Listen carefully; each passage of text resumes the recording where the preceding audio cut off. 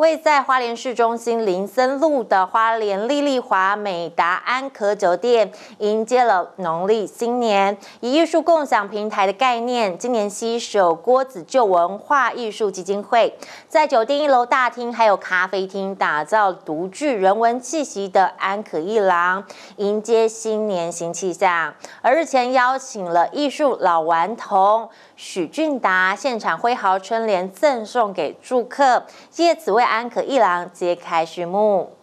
位于市中心林森路的华联丽丽华美达安可酒店，以文化艺术结合观光旅游为定位，提升观光旅游的内涵价值，迎接二零二四新气象。今年携手国子旧文化艺术基金会，在酒店一楼大厅和咖啡厅打造独具人文气息的安可一郎。日前开幕，邀请年过七旬的艺术老顽童许俊达现场挥毫赠送住客春联，为住客带来龙年喜气。在这个龙年新春呃之际，那我们借由这个许俊达大师挥毫，揭开我们安可一郎的一个序幕。那呃安可一郎在我们花莲丽丽华美达安可酒店呃成立，那等于是今天今天正是一个揭开。我们在安可一郎，在呃这个花莲在地结合了呃呃数名的这个艺术家，有我们的璀璨系列，有我们的无极系列，还有我们的浮木雕刻，还有我们的石作艺术。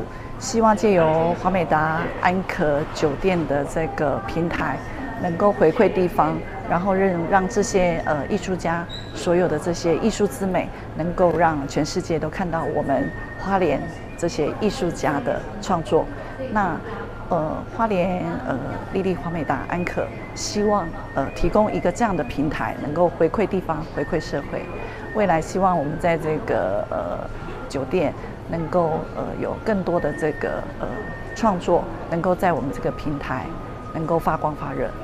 国子旧文化艺术基金会执行长周根利表示，基金会与酒店合作策划以安可一郎为名的艺文展场，注入文创元素。未来将以国子旧音乐文化馆的主题策展内容配合展出。邱瑞君提到，同步推出年度人文艺术之旅住房专案，入住即可获赠国子旧音乐文化馆门票及创作艺术品。透过部分空间提供艺术创作者展演交流，融合在地特色与酒店，期盼也能借此吸引旅客对丽丽华美达安可酒店的美好印象。记者蒋邦彦、黄律师报道。